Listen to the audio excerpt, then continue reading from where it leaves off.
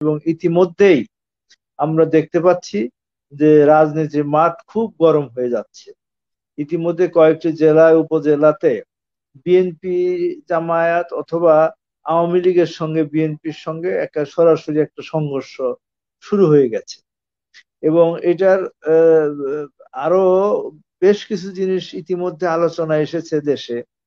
কেউ কেউ দুবাই যাচ্ছে, কেউ কেউ সিঙ্গাপুর যাচ্ছে, কেউ কেউ ব্যাংকক যাচ্ছে আবার কেউ কেউ নানান ধরনের কথাবার্তা শুরু হয়ে গেছে।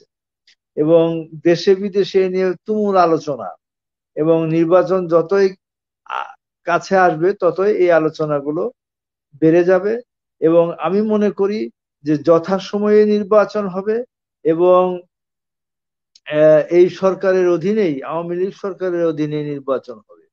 ইতিমধ্যে দেখা যাচ্ছে বিভিন্ন ছোট ছোট দলের সঙ্গে এক একটা সম্পৃক্ততা আছে এতে কিচ্ছু যায় আসে না। নির্বাচনের আগে এরকম ঘটনা বহুত ঘটে।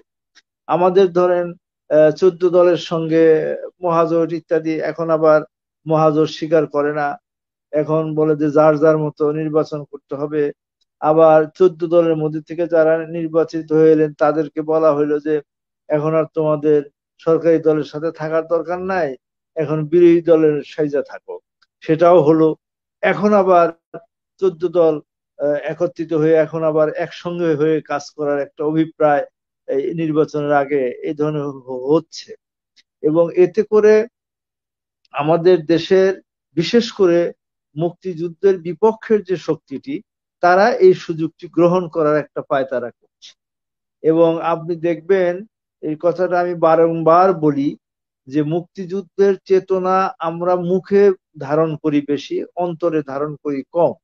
এবং সেজন্যে আমাদের দেশে অনেকেই আশঙ্কা করেছিল যে শ্রীলঙ্কার মতো আমাদের দেশে নিয়ে আবার অবস্থা হয়ে যায়।